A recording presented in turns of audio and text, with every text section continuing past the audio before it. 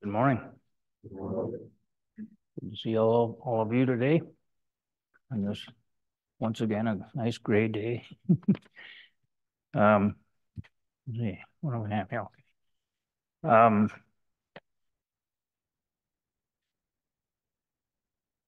well, I often hear from uh, uh, people, oftentimes people that follow us on Zoom or or many of you as well, but um, I get emails and, and um, letters occasionally. And uh, there's one fellow, I was going to just say a young man, but he's actually not, that young anymore, I don't think, but middle age, I suppose. But um, uh, to me, at my age, everybody seems kind of young, I think. Um, so I am older than I look. You might think I'm younger than I than I am. I don't know. But um, anyway, but I, I I've gotten to know this fellow over the last couple of years a little bit through exchanges, and he very often makes very interesting observations. And um, so this morning, he just sent me something a couple weeks ago, and I thought this is very good what he had to say here. And it occurred to me that I, I could say a few things about his comments here and uh, might provide the basis of a talk here. So that's what I'll be doing uh, today. Uh, his name is uh, Jamie Douglas, and he lives in England, and uh, very interesting uh, fellow based on the exchanges we've had. And I've talked with him too on Zoom personally, one on one. So I feel like I've gotten to know him a little bit, uh, though I've never actually met him in person. Um, but let me just read this to you, what Jamie sent me a couple weeks ago. He said, there is no, there is no ending to this practice, is there? Because there is no end to things being taken to be things and then revealing themselves to be empty. Even the practice and the teaching itself, which is almost like one of those self destructing letters in spy movies that fizzles up after reading. Yet in the case of this practice, it never stops fizzling up. There really isn't an it to be found here, there, or anywhere. Over time, insanity reveals itself. The insanity of departing from here, looking for something to bring back to here. The insanity of thinking that thinking can see better than seeing can. The insanity of thinking that things can actually self exist and that therefore there can be enduring mystery and opacity and so the insanity of the enduring spiritual search. Well, I thought that was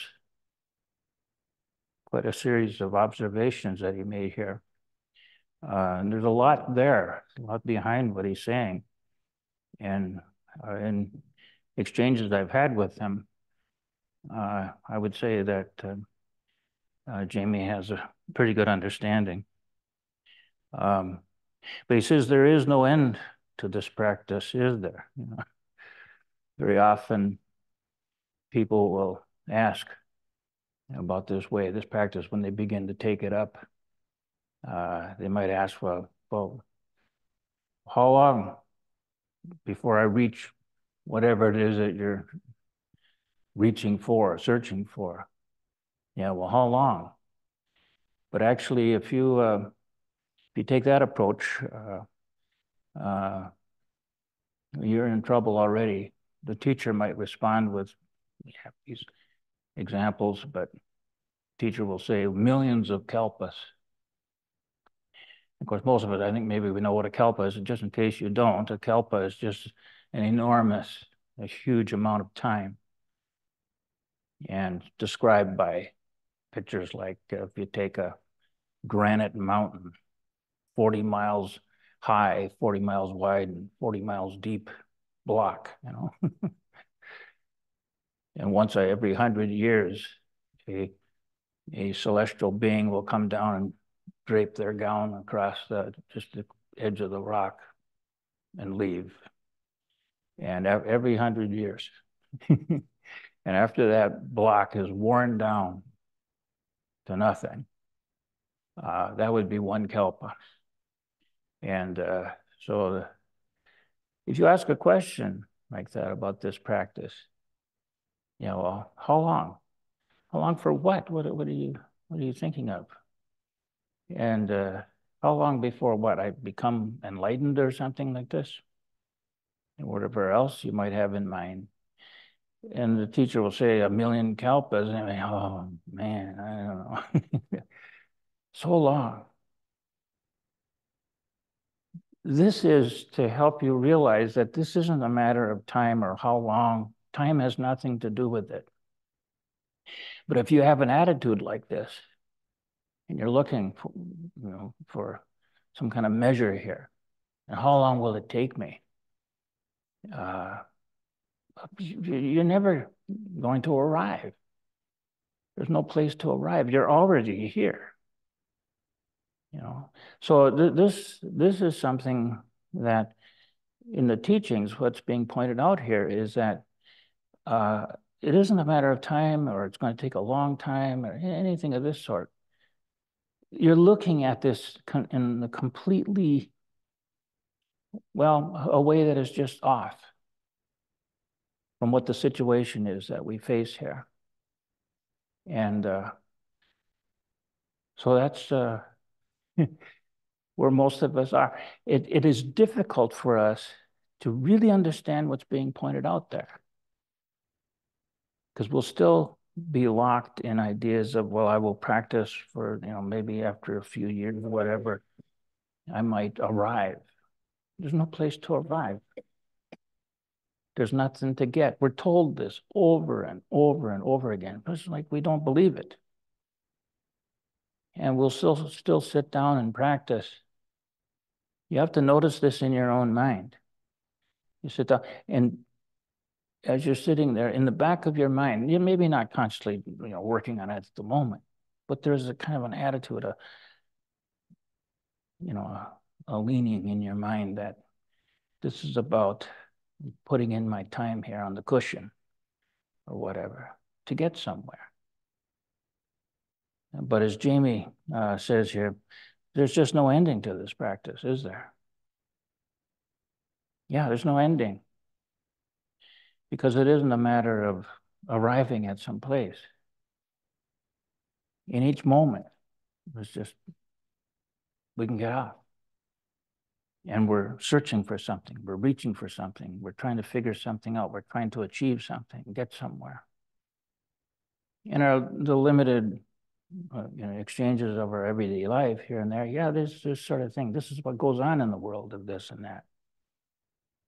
But when it comes to this matter of waking up, realizing the nature of reality, that kind of thinking just doesn't work. It doesn't apply to this practice. Which then we might think, well, then, well, why why do I sit? Why would I sit meditation? Yeah, yeah, we and we just keep it there because we don't consider what's really going on in our mind, that we have this idea that this is about getting somewhere, achieving something, figuring something out. And it, it just has nothing to do with that whatsoever. This is what we have to realize and realize it then even as we continue the practice. And of course, right there, you might have the question, well, then, well, well, why, why would I practice? Yeah, well, that's an ordinary mind. And with that, there's no understanding, there's no awakening, there's no coming to realize the nature of reality. So, but that's what this teaching is about. That's what it's uh, pointing pointing to. But then Jamie says, uh, um, he says, there just is no end to this practice because there is no end to things being taken to be things and then revealing themselves to be empty. And there's no end to this. This is not a fault or anything of that sort, because uh, you know we will you know take things to be things. Yeah, there's no end to this to things being taken to be things. Yeah, we'll take things to be things. We don't realize what. What do you mean? I don't take a thing to be thing. I'm holding this piece of paper here now, and uh, that's a thing. Yeah, okay but we take it to be things, or a thought, or a feeling, uh, or a gesture, anything at all. But we think that whatever it is that's forming there in the mind now as a thing, something we might have a name for, maybe it's something totally new. We don't have any word for it. But maybe quickly, if it recurs or other people experience such things, we'll have words about this thing or that thing, some new thing, some novel thing that wasn't around before, no one ever thought of. But we'll put words to it, and that also intensifies the thingness of it, you know, sharpens up the outline and and the variations of it and all of this sort of thing. Because there's no end to things being taken uh, uh, to be things. And then well, with this, then they reveal themselves. If you continue to just look at that, look at what's coming up in this moment, just staying with that. This doesn't involve words on your part, thinking anything, saying anything to yourself. In fact, that's how we keep missing everything, missing the, understanding the realization of reality. That's because um, we just can't keep our hands off. We're doing things. We're taking things to be things. And uh, it was interesting uh, last week. Uh, uh ben Connolly was here, and uh, he was talking about Vasubandhu, and uh, he he studied quite a bit uh, that way. And uh, in the Yogacara school, kind of an early psychology school um, in Buddhism. But he said once before at a talk here that he said with Vasubandhu, or, or the Yogacara way, is to turn things into things. And yeah, because that's what we'll do. Now we can study them. We can uh, show the relationships between things and and manipulate them in various ways and multiply them and maybe destroy some and, and that sort of thing. But turning things into things, well, into dharmas is what they would do in the Abhidharma school. And that's perfectly because this is what we tend to do. Uh, we'll turn things into things. And that's fine, but you better be careful. Understand what you're doing with these things. Because as Jamie says here, um, uh, well, these things, they, they then will reveal themselves to be empty, empty of any kind of substantiality. And I don't know that we even need to go about creating thingness about things. We're, we're already kind of there. But it's a matter of just if we can learn to observe these things that are continuously showing this is our conscious experience. And it is filled with things coming and going, thoughts and feelings of various things coming and going. But there's also just pure thoughts and feelings, uh, with not too well defined thingness about any any of it. Uh, that's there too, but usually we'll miss it because we'll grasp the thing We'll want to do something with the thing, even if what we want to do is to get rid of it. But we, and then that just solidifies it in the mind. I could say your mind, but then that's just uh, doing the same thing with your mind, that there's this thing called my mind. And, uh, but it's just endless what we do. Instead of quietly just observing the thing. As Jamie says here, that uh, yeah, things taken to be seen, but then they reveal themselves to be empty. Yeah, if we continue to just observe without labeling, without grasping, without trying to control or manipulate or do something with it. yeah. But he says, uh, even this practice, so we will, these things will reveal themselves to be empty, even the practice and the teaching itself. Yeah, which is almost like one of those self destructing letters in spy movies that fizzles up after reading. You know that image, I think. Uh, yet in the case of this practice, it never stops fizzling up. This sort of thing, the apparent thingness of things, that then will reveal if we just dispassionately just observe that and realize it, it is empty of any kind of substantiality. Uh, this can be seen directly. Nothing to say about, nothing to figure out here. It's just simply to notice this about whatever it is you might be observing, even now. You know, whether it's the floor or a thought or a feeling you might be, you know, having. Uh, and it isn't now. You, now you can maybe pay attention to the talk. You don't have to, but uh, and we could even take things that are being said here different aspects of it and turn those into things as well. And that's fine. We do this and it's okay. But it's very helpful if you realize what you're doing. You start to notice what you're doing. And we do this constantly with everything, all the time. And so we carry on as if we're in a world of substantiality, a world of this and that. And in a sense, we are. It's just that we'll miss the fact that these are the appearances, the appearances of things coming and going. If you look very carefully, you can't actually get hold of anything that's doing that. But it looks this way, it feels this way. Uh, and we can talk about it as if it were this way. And to a point, just getting on with our daily lives, it, a certain amount of that is necessary. But when the backdrop of our mind is that these things are ultimately an expression of what is ultimately real, and they, they are not. They're uh, an expression of mind. We'll be, uh, I'll be starting a class next week, well, not this coming week, but the following week on Tuesday, I believe, and uh, uh, called Mind and Consciousness, a no-brainer.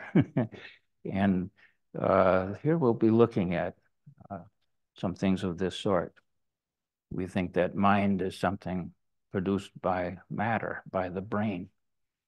You know, a lot of us believe this. I did too at one point before I learned to really observe. And, um, uh, but, I'll, anyway, but that's what this class will be getting into things of this sort. Uh, if that interests you, you might want to check it out. Um, but as Jamie says here now, so, but even the practice itself, it, it reveals itself, you know, uh, like one of these uh, self-destruct, well, it was like these uh, uh self-destructing movies, it, you know, things fizzled up. Yet in the case of the practice, it never stops fizzling up. This world of stuff coming and going never stops fizzling up in this way. In other words, it's never, it's, it's constantly providing us with, with the opportunity to see, to realize that yes, here these things are coming and going. And yet, do we ever get hold of any of them? They fizzle up. They will reveal themselves to be empty of substantiality. Of course, when when we're assuming that the world has to be carrying that substance with it, we think, well, then, well, then this is uh, nothingness. We'll interpret Nagarjuna's uh, shunyata, emptiness, as nothingness. But obviously, this isn't nothing. This fizzling up and things taking place. But it's the very lack we can start to see directly without assuming substantiality, we can see that it's there's this lack of substantiality, and, and it's this lack of sub substantiality that is mind, conscious experience. That's what we uh, are living out. Whether we, we're aware of it or not, whether we think this is so or not, or whether we're caught up with interpreting the appearances of things as having substantiality, before we learn to observe carefully that they're constantly showing us, you know, insubstantial, revealing themselves as, as emptiness or as being empty. Okay. So then, um, and so Jamie observes here that, so in the case of this practice, then we start to realize that it never stops fizzling up. Whatever it is we have, you're, if you hang on to it long enough, it'll kind of disintegrate. Now, many of these things are useful and helpful in our, in our, in our day-to-day lives, and that's perfectly fine. Uh, but it would be all more, more than helpful if we could start to realize that the apparent substantiality of it uh, is is just that, an appearance. It's not actual substantiality. And we don't have to be tricked by this. Isn't, this, is, this isn't about doing away with it. You can't do that. Things keep fizzling up, showing up and fizzling up. Uh, but we don't observe, we, we see the showing up and then we grant to them in our minds substantiality. And now we're trying to work with all of that rather than seeing the true nature of it is this is changing. Not going to stay put. It'll be gone. It really never quite arrived. Uh, we can observe that. We can finally see that. He says, uh, uh, there really isn't an it to be found here, there, or anywhere. Yeah, no it here. yeah, except we'll we'll make it into something though, whatever it is. Yeah. Even the teaching will make it into something. Uh, we make, you know, and he says here, there, but here, where's here? Well, this is me here. Yeah, we'll make that into something. It applies right here as well. But there, yeah, over there, that object, other people, whatever it might be. We'll turn all of these things in our mind. We'll, we'll treat them as if these are something particular. We'll apply a name to a person, to myself, or something like this, or our parents have for us, or whatever. And then it seems like now we, with, with that name or label on objects and whatever, that kind of helps to keep us thinking that, well, that there's this thing that, that uh, was appearing here yesterday, and here it is again today. And everything will seem like this to us. And so but then we think that there's a thing there with carrying that label, not noticing that everything about whatever it is, a thought or a feeling, a person, a, a tree, the stars, whatever, uh, there's something here persisting.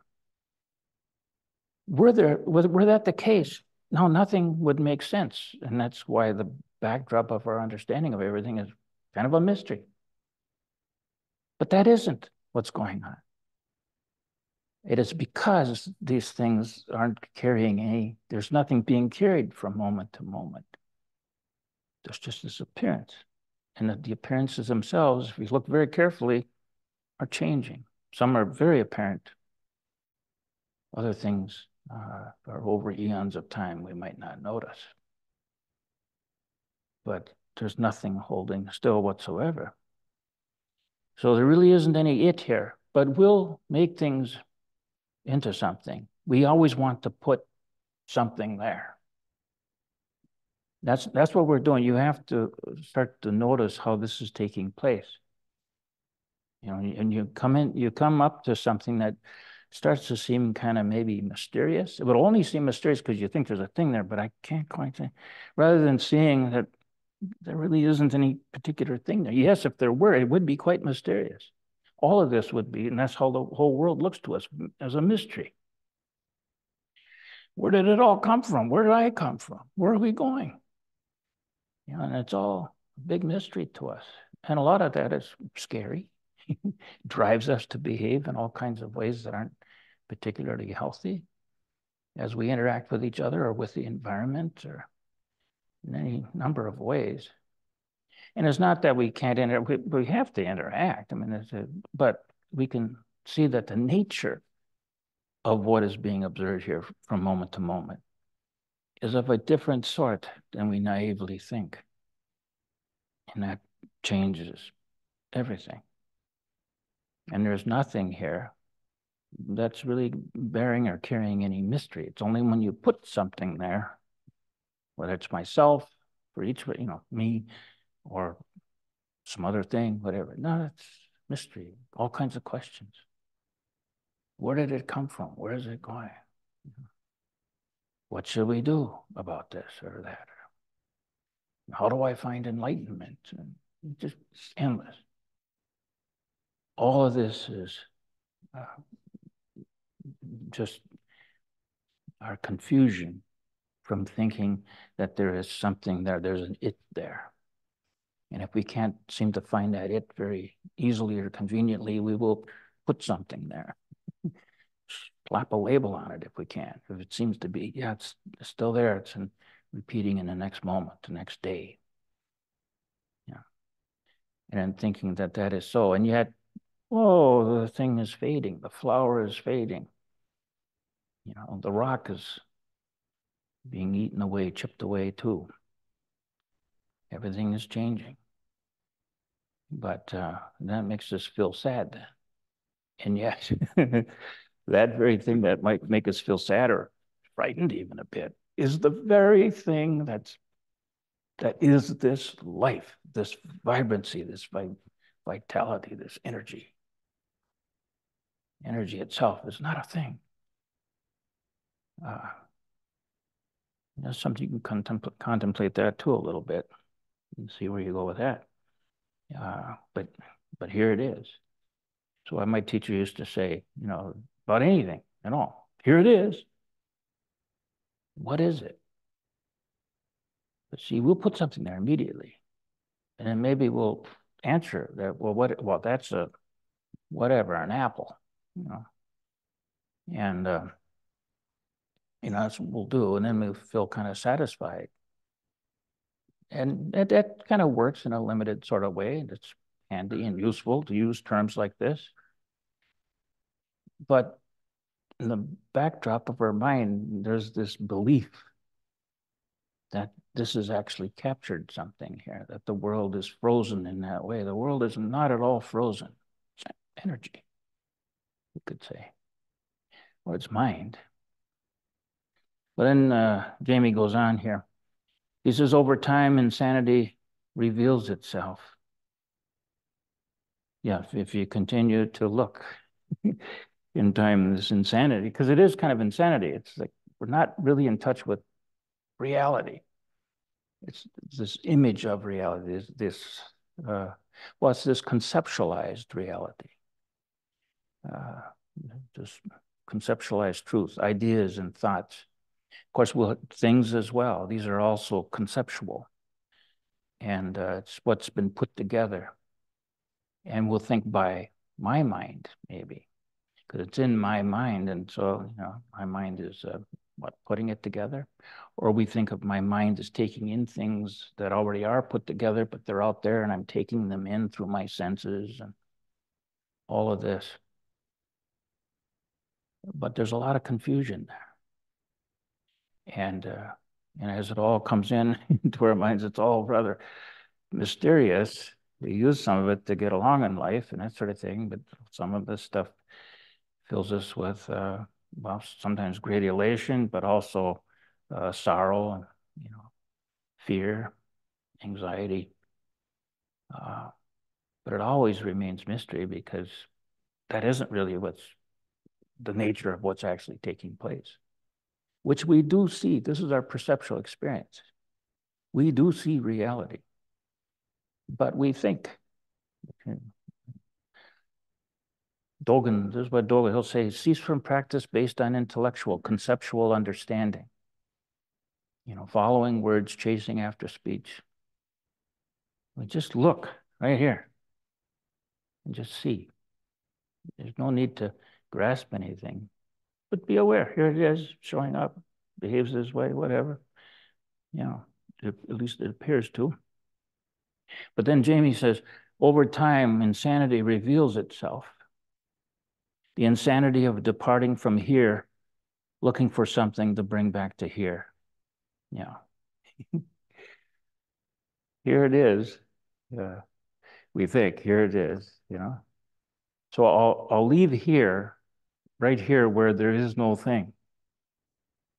No, there's the appearances of things, but I'll leave here and I'll go over there where that thing appears to be and I'll take hold of it now in some way. And then we want to bring it back here. When it comes to the teaching, you, you mentioned the teachings here and the practice. And you know, we'll make that into a thing and then we'll want to bring it here. And maybe in teaching then, so I'll find a way to hand this to you, you know. But then teaching, we don't really do it. You're never handed anything.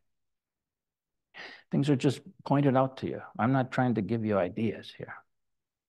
Just pointing out, trying to help you to notice for yourself. Even though there's no yourself, but just to wake up to the nature of what is actually unfolding here with no substance to it. We don't then have to carry on as if, well, I'm nothing at all. I can get up and walk through this table or something like that. no, that, the appearances are such that, well, we know what would happen if one tried to walk into a table. And uh, so we, we, we don't. We don't have to, you know, because there, there we're still taking the stuff to be something, even if you think, well, okay, so it's nothing, I can walk through it. But in doing that, we actually, you know, perpetuate the, the appearance of somethingness about it. We think there's an it there because we always want to put something there. But whatever it is, even the table, you'll never really get hold of it. You say, yeah, I can look at that, I can touch it and move it. But what is it? You never get hold of it. Yeah. But in time, the sanity revealed itself, and he says the insanity of departing from here, you know, looking for something to bring back to here. Yeah, we'll leave here, here where can't really get hold of. We can see this and live with that, even though yes, th there appears to be a table here. It's best if I don't carry on as if there weren't a table here. But at the same time, can't really say there's a table here. What is it? See, this is what's so difficult for us is to realize that that's the experience. We think, well, either there's a table here or there isn't. Boom, boom, it's just frozen. The fluidity of life, which is conscious life, uh, is such that it's lost to us now. Well, it becomes a mystery. We know there is such a thing in most cases, but it's now something mysterious. And it must be because we really think that the real stuff here is the physical stuff, the material stuff. And the brain is produced by the mind, or the mind is produced by the brain. It's closer to the other way around, but we'll look at that in this class. But um, now with all of that, pardon me.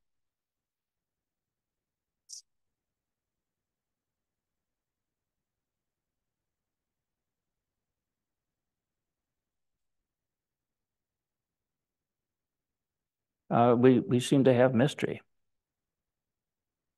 Then he says also there's the insanity of thinking that thinking can see better than seeing can. Yeah. So we have the insanity of, okay, we leave here. Oh, I was going to say this too. So we leave here.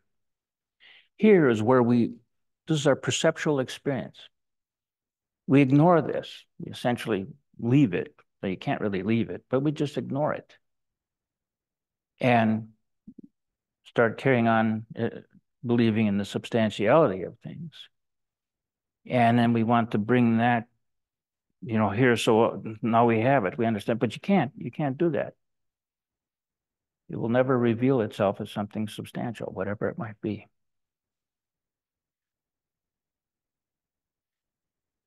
And so, uh, uh, so we'll leave here. In other words, we'll kind of give up the direct perceptual experience, the direct seeing, realizing of the true nature of reality, which you do, we all have this. But we go over to, you know, to pick it up and have, now we've created a thing. an idea, a thought, an emotion, a feeling, a taste, whatever it might be. And, and then we think that, well, it's real enough. It seems real enough. These appearances, they're real enough. That is the reality. That's the, the everyday reality, the reality of birth and death, the samsaric world. But ultimately, that isn't really what's taking place here. But ultimately, what's taking place, what seems like you can't get hold of it, and then like it's nothing. You know, yeah, well, it's true. Yeah, you can't get hold of it, but it isn't nothing. It is what is being experienced. It's just that. It's just that it's not holding a substance. Uh, substance. So, but we feel like we can. Um, uh, we're we're looking for something. Uh, we depart from here, the actual immediate direct experience, and then we we uh, look for something to bring back to here. So I want to bring the the stuff that I think or feel or taste or whatever, and bring it back here. And enlightenment, I've heard about that, and then we think we have to bring it back here. So now I have it.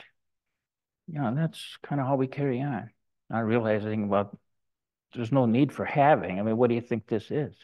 It's a matter of waking up. That's all. It's not a matter of getting or figuring it out. This is vital. What I'm trying to point out to you here. And what you have to do is notice yourself trying to figure it out or trying to get it in some way. And, of course, there's also me here, not noticing that, well, I not something found either. Uh, but when we see that and think that's real, then here I am looking at that or tasting that or whatever. And, uh, and there we are. Again, we're, we're lost. We will leave here the immediacy of just this and uh, uh, go over there to you know get something and then try to bring it back here. Uh, but this is just that's insanity, as Jamie says here. And he also says the the insanity of thinking that thinking can see better than seeing can. So yeah, we want to think our way to this. What it is that we're pointing out here, and uh, again, we want to put something. We think there's something to this, and that thinking you know, can see better because this is just a matter of seeing, but just seeing, objectless seeing, realizing, a direct realization of what is taking place here without making particularness, things out of whatever's taking place here. And yet the appearances are here. They don't go anywhere. They, they're constantly here, coming, appearing to come and go. Nothing to do about that. But it's a matter of what we're talking about here is a matter of finally realizing what's actually, what the experience actually is. It is of this nature. And there's a, a lot to this. Again, I'll, in, in the class I'll be doing pretty soon, uh, we, we get into, into this a bit. But, uh, but thinking doesn't uh, see better than seeing can. It's just, it's just seeing. It's not seeing and then thinking, because right away our no ordinary seeing is latched, uh, or immediately latches onto something. I see the zafu, and uh, yeah, so there's here I am, and then but the I have an eye, and it's seeing that over there, and the eye is uh, a thing, it's solid, real, and the thing over there is, and there's grasping a whole. Yeah, these are the if if we saw that as appearances, it looks this way, it seems this way. But the moment you try to go in and parse any of that out and get hold of something, you can't do it. It isn't of that nature. It's a matter of just realizing this. But you and you can't realize it intellectually. You can't realize it as an idea. I've given you the idea about this, but that's not good enough. It's not actually experiencing just this directly. But the experience of just this is taking place even now for you. Well, exactly, uh, not exactly for you, because you were part of the thing that seems to be appearing here. Yeah. But this is something that we, you know, I say weekend, there's no awakener to this, but this is what awakeness is. The awakened, when they speak, they speak out of seeing this, knowing this. This is the nature of the of, of this experience here. With seeing, realizing directly the true nature of what is experienced, pretty much everything will be resolved. I will say everything, except that implies things again. okay. This is why also why Dogen, and he says, you know, when Jamie says here, uh, uh, the insanity of thinking that thinking can see better than thinking, than seeing can. Uh, Dogen, he tells us, think not in the Fukan Zazengi, think not thinking. Yeah. So the, the, rather than having an intellectual grasp of this, you know, let the thinking be just thinking, which is not thinking in our usual way of getting ideas, operating from ideas. Uh, it's not operating from anything, but it is just living out of what is being lived out. Um, and understanding the nature of just this rather than the innate, the nature of this and that. I said just this rather than this and that. This and that are things. Just this. It's not a thing. But it can be seen. Okay, and then he also says the, the insanity of uh, things can actually, uh, the things can actually self-exist, and that therefore there can be enduring mystery and opacity. Yeah, things self-exist, that they are something unto themselves, persisting, yeah, to self-exist, exist. Again, most of the time, I think we could just take that word exist, whatever it is we're assuming there. If you look carefully, at your thoughts of what it is, what do you mean by exist? You'll see persistence in the, the assumption of persistence. Persistence is in when we use that term exist, the presumption of exist of a pers, uh, of, persistence is there. But there's nothing uh, that's if we look carefully again, we will notice there's nothing persisting to any of this, not to a thought, to a feeling, to objects, whatever they might be, to people we know, even to whatever uh, ideas we have of me, self, this sense we have of, of self. It's real enough, yeah, this sense of self, but it's not ultimately real. There's nothing about it that's persisting. Uh, whatever it is about you now, it wasn't uh, the person who stepped into this room a while ago. Uh, there's nothing persisting here. Okay, but then with this, the the thing that when we think that things that actually self-exist, uh, now with this, now now we're paving the way here uh, for uh, this enduring mystery. The things will continue to be uh, this mysterious nature, which I've already mentioned a bit here, and opaque. You know, you can't clearly see what's taking place here, what's going on uh, here. And then and Jamie says that, and so the insanity of the enduring spiritual search. Yeah, the insanity of the enduring spiritual search. Boy, it's getting later, and I thought I was going to say a bit about this. But um, yeah, this spiritual search. Buddhas do not seek be good, be helpful maybe for you to remember that Buddhas. What's that? Well, that people who are awake. It's not even people, but but this awakeness is not a matter of searching. To awaken to this reality, to not be fooled by it, deceived by it, or confused by it. To actually see true knowing, you know, just this uh, with this. Uh, there, there's no searching.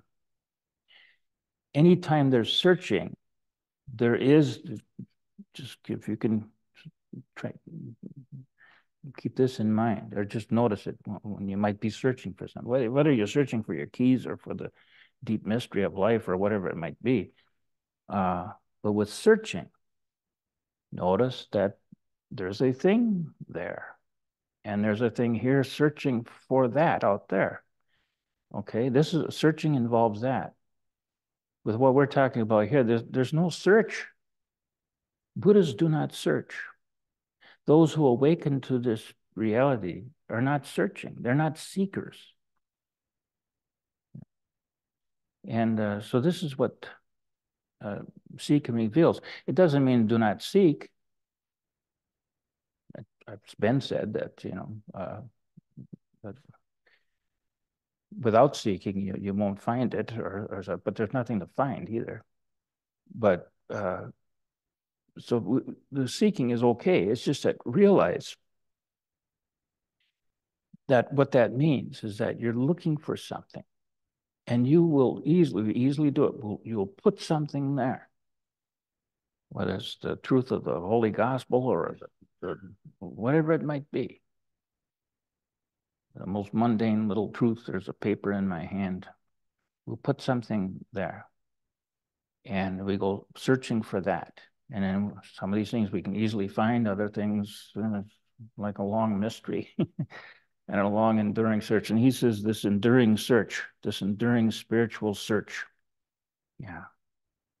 That's all because we we insist on putting something there. Um, that's something uh, you, you need if you can learn to pay attention to that, get a sense of what what that is, what I'm trying to point to here.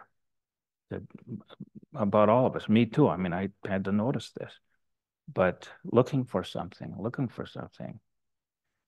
So finally, like in my case a bit, I, I asked myself, what do I think I'm, what do I think I'm going to find?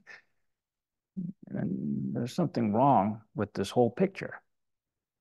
And it's kind of like learn to kind of back off, you know, because as I tried to imagine what enlightenment, would that be like this or that? Or, you know, or I'd read Huang Po or is he, so is he talking about, and I'm just looking for, trying to get an image there of something. Oh, okay, now if I could just see that or figure that out. Just realize uh, that that's not involved with, with seeing. There's just simply no searching. Searching is making up something. And searching, too, will always have mystery involved with it. With seeing, there's no mystery. With just seeing. Not, I'm, not, talking about seeing objects, seeing thoughts, seeing ideas. Oh, I get it. Oh, I see what you're saying. You know, it, it, nothing like that. That's where, where it involves a formed thing. It's just, and it's, it's a very quiet thing. You can notice it just like this, maybe, just sitting here. You can realize that this isn't nothing it isn't like there's blankness here. No color, no sound, no feeling, no sense of dimension, time, space, whatever. The moment there appears to be something, all of these things are, appear with it. But if you just sit here, you realize uh, that we don't even have these things at all. It's just simply a matter of waking, waking up to that. But all these things are appearing. This is what consciousness is. Uh, it's an aspect of mind, or this true reality, mind with a capital M. Not mind as we might think of it like my mind, my mind, your mind. That's a thing we're talking about there. And again, a formed thing, and I, you know, and it's, you know, we can something like that. We'll even try to locate it. Isn't that kind of silly in a way? I used to wonder about that. I don't anymore. I can see, but uh, like, where is your mind? Of course, we'll point to the brain. You know I'd, I'd say, forget that. Don't do that. That's almost kind of silly. Well, we'll you'll see why. If you take the course, I'm going to do it. Maybe I'll help you know. But that's sort of a silly thing. It doesn't if you because you, can see directly, even your mind doesn't have a location in space. Uh, doesn't have a position in time either.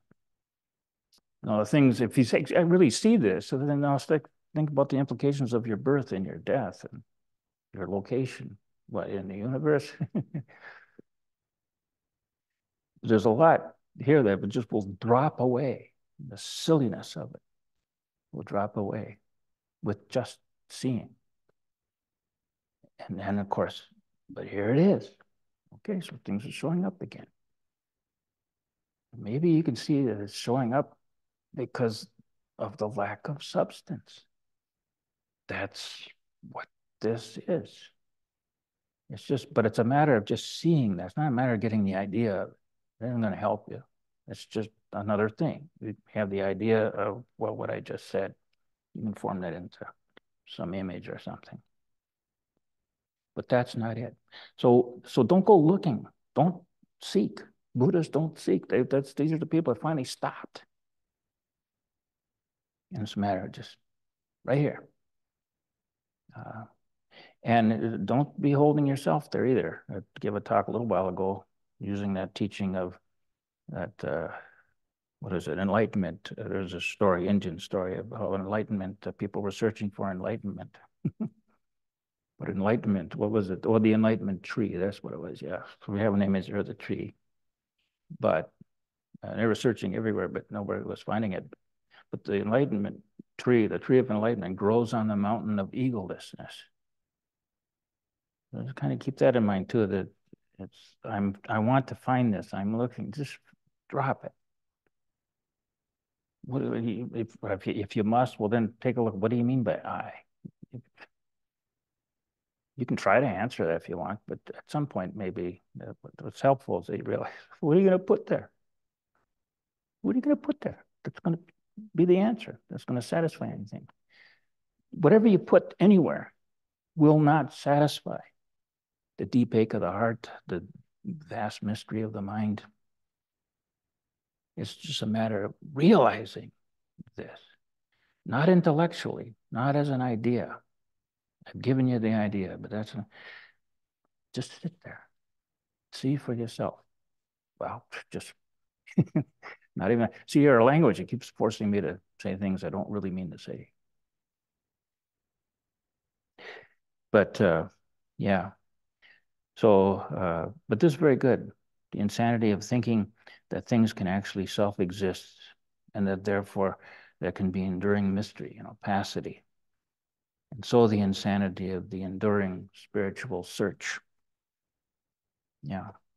Anyway, this this fellow here, Jamie, Jamie Douglas, uh, he often sends me uh, little pieces like this and uh, or his musings. He has questions and things. well, we, we dialogue too a little bit. We talk, but um, very interesting uh, uh, fellow. Uh, and uh, if you're out there, Jamie, right now, uh, thank you very much for this. okay, almost out of time. There's any questions or comments by anybody? Yeah, David.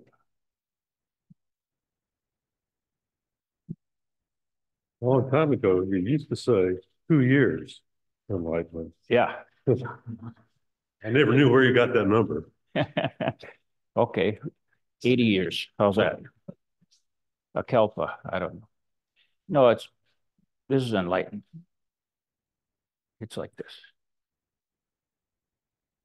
And uh, well, when when will that happen? Well, okay, if you're looking like that, you know, yeah, two years at least probably if you continue, if you after two years you're still carrying on like that, uh, no, it's going to take forever. Or, or a million kalpas. That's the same as forever, really. And the Indians, when they they use a big number like that, they're really talking about forever. But it isn't a matter of that. I was trying to say at the beginning. It isn't a matter of while searching and trying to get somewhere. It's recognize what you're doing. There's the insanity and stop. Just stop that. Wake up. Like, like this. It isn't suddenly getting the idea, oh, it's this or that. No, if it were this or that, we're still locked in this frozen prison of thinking that there's solid things here and there and me relating to it. It's a matter of just see the error of that. That's all it is. But to truly see and seeing not with the eyes and this is what I mean by just seeing. Isn't that me? I did. I, am not the only one to use this term. I got this from other teachers. But it is uh, just, just seeing. Not seeing that, not seeing this, not seeing an object. It's just a matter of waking up, realizing. This knowledge, you know, is not something far away from you. You're living it out right now. It actually is your immediate direct perceptual experience. And so, so it isn't something you have to get or acquire. You already have it, so to speak, except the you part. But that's when we're talking like this, now we're conceptualizing and gets cluttered up with all that kind of stuff. But settle your mind, quiet your mind. Don't think. And there it is.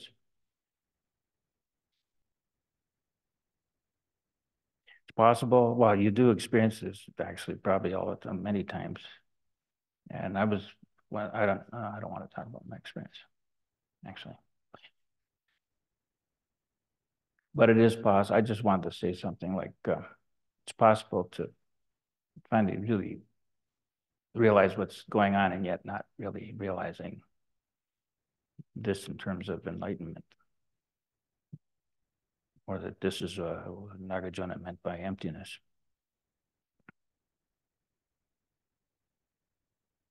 But in time, um, it'll all start to become obvious what the, the awakened teachings are offering. Uh, not everything that we read, even in Buddhism, Zen, is of an enlightened mind. But it'll start to become obvious what things are actually pointing and what things are still inviting us to grasp. But any, any well, we are virtually out of time, so if there's nothing else, guess we'll end it here. Thank you. Thank you.